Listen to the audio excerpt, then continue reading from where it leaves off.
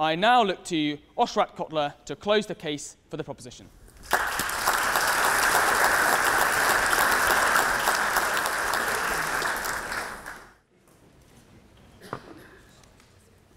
Good evening.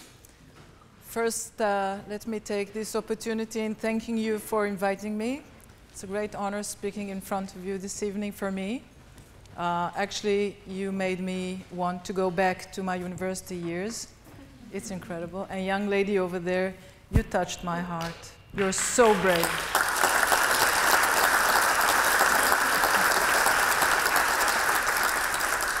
So, can one separate the art from the artist? A profound question, indeed, especially for me, as I'm a true ambassador to the art and believe that an artist has been gifted with an ability so unique, so ethereal, that for those who are not artistically inclined, such as us, the commoners, it leaves us with a feeling of awe one could suggest that a gift as unique as this should be above any earthly rules or limitations, that it should be left alone to flourish in an arena of artistic freedom. I think we can all agree that good art, arts at all, deserves and needs freedom. But can artists be freed of any moral judgments? What if the artist is inhuman? What if they abuse people, inflict pain? or even cause permanent damage to others? Should we continue to admire their work, put them on a pedestal, encourage them to continue with their artistic creativity? On one hand, what will we lose as society by setting moral boundaries to the artist?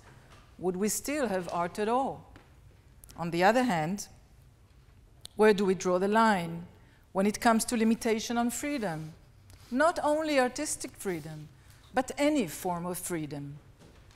In order to address these profound issues, we need to reflect, I believe, on the purpose of art, the role it has within society, and then ask ourselves what is the purpose of human society at all?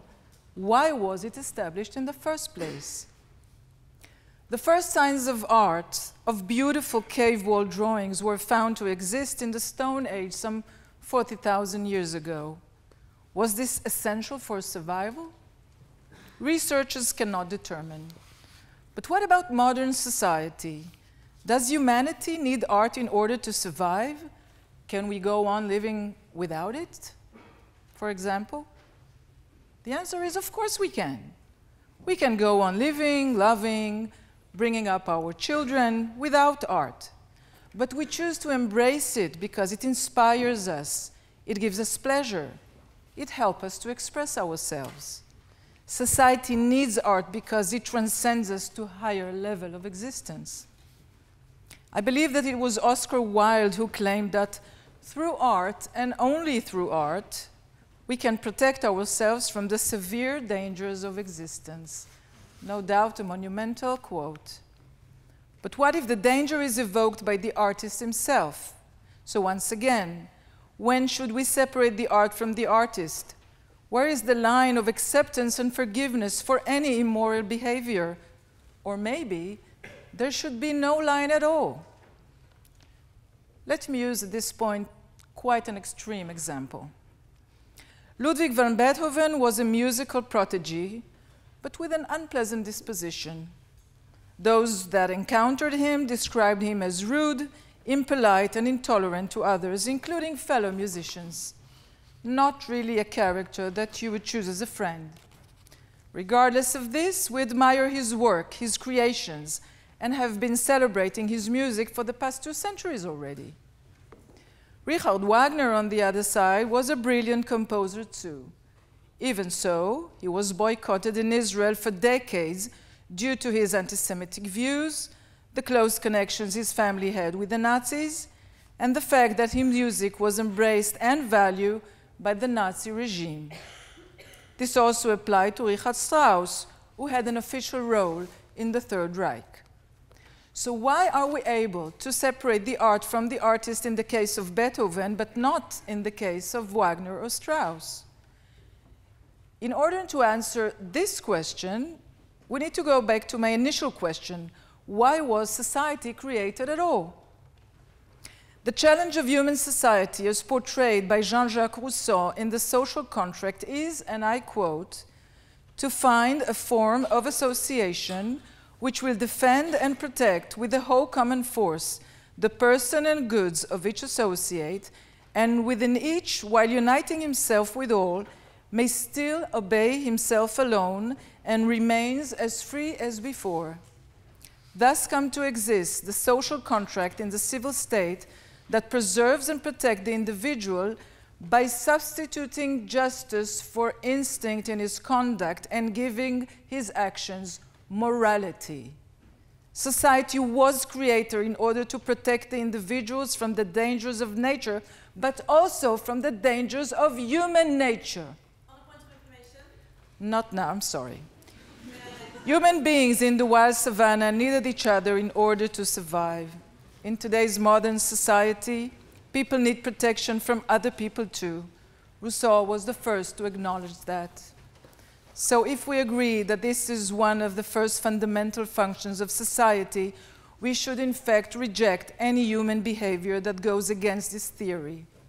So it's true, Beethoven was a rude and vulgar person who probably suffered from a bipolar um, disorder.